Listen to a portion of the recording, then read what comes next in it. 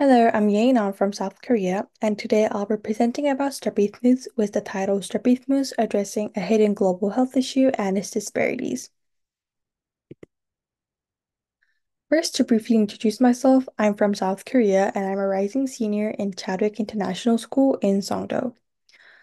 I'm a leader of Green Team Club and was one of the leadership positions in Chadwick Sea Club. I also participated in Chadwick International Biology Research Club, Chadwick Medical Society, and HOBY World Leadership Congress and have various volunteer experiences in the medical fields. I'm interested in ophthalmology, public health, chemistry, biology, and many more. The photos at the bottom right are my previous works about strabismus. My topic for today is global eye health, especially strabismus disparities and solutions. And my purpose is to highlight a hidden issue in global health and propose solutions. And just in case some of you wonder why I am so into strabismus, as you can as you can see in the previous works I've done, the reason for that is that I have a strabismus as you can as can be seen in the photos below. So, what is strabismus? According to Johns Hopkins Medicine, strabismus, which is also called a cross eye, is a misalignment of the eyes, causing one eye to deviate inwards towards the nose or outwards, while other eye remains focused. The photo below shows different types of strabismus.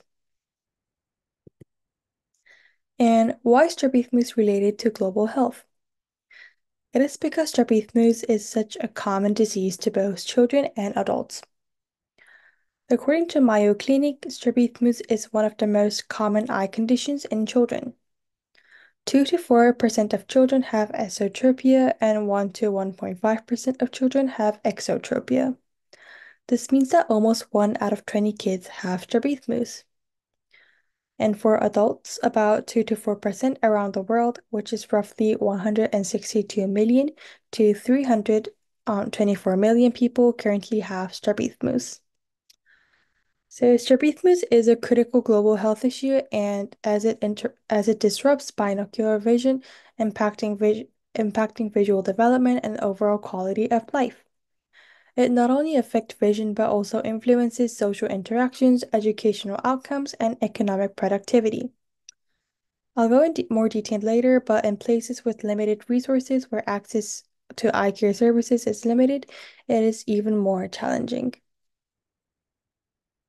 So, for diagnosis of strabismus, any child older than four months who appears to have strabismus should have an eye examination of refraction and alignment and focus tests.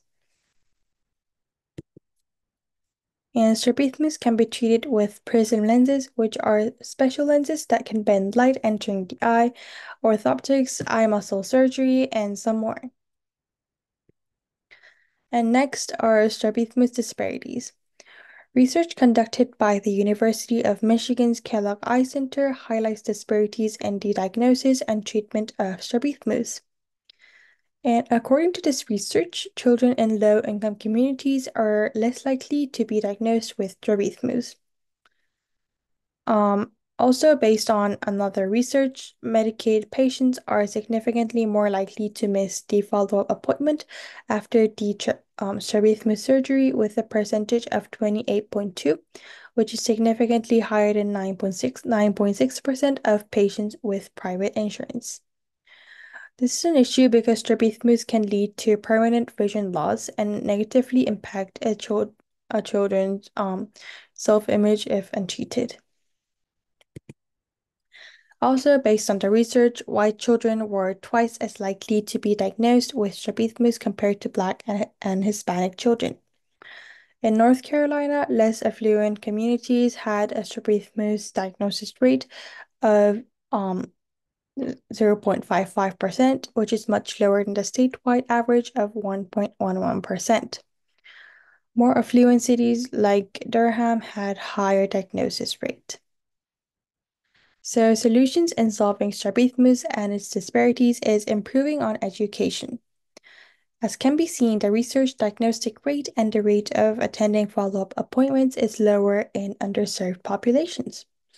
This results in lifelong strabismus, which can have a negative impact on different areas. This highlights the need of education about good eye health. Also, improvements on health policy is needed. All children and adults have the right for equitable access to eye care services to diagnose and treat strabismus early.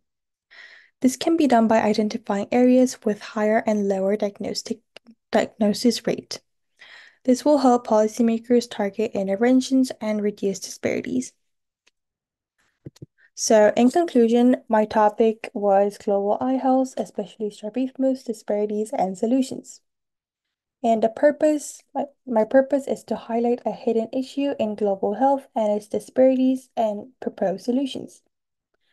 And the key takeaways from my presentation is that strabismus is a common eye condition affecting millions of people. It disrupts visual development, social interactions, educational outcomes, and economic productivity. Disparities in diagnosis and treatment exist particularly affecting low income and minority communities. And the call to action for my presentation is educating the community about the importance of eye health is needed. And we should advocate for equitable access to eye care services. Also, we should support timely diagnosis and treatment to prevent lifelong impacts. These are the acknowledgements and the link below is for my reference and citations. Thank you. Hmm.